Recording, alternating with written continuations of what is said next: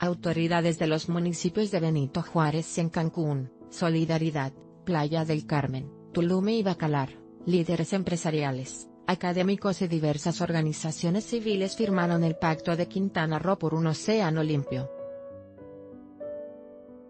El acuerdo consolida una alianza estratégica internacional en cuatro países, México, Marruecos, Filipinas y Egipto, para desarrollar acciones que resuelvan el problema de los plásticos que llegan a los ecosistemas marinos. El evento denominado Olas Océano Limpio, organizado por Geocicle, empresa de servicios de manejo de residuos, y la Cooperación Alemana para el Desarrollo Sustentable, GIS, que ejecuta este proyecto, lograron esta alianza mundial. Uno de los objetivos del Pacto de Quintana Roo por un océano limpio consiste en mejorar la gestión integral de los residuos plásticos dentro de una economía circular, que propone reintegrar estos materiales a las cadenas productivas en vez de mandarlos a rellenos sanitarios, indicó el director general de Geocicle en México, Héctor García César, en un comunicado.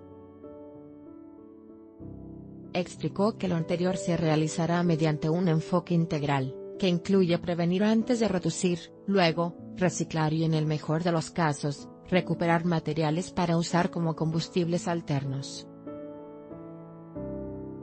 Al ritmo actual de la llegada de plásticos al mar, se estima que los océanos tengan una tonelada de plástico por cada 3 toneladas de peces en 2025 y para 2050 habrá más plásticos que peces en el mar, por peso, por lo que el pacto busca revertir esta tendencia en la región a través de un proyecto a tres años.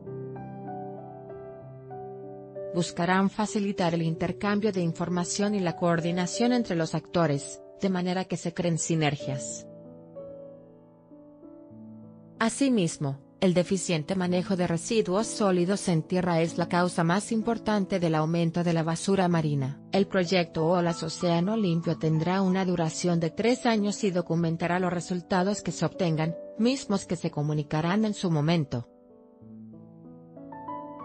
Con información de Cro.gov y el financiero anímate a comentar. Queremos saber tu opinión. Comentarios Power Eva y Facebook Comments.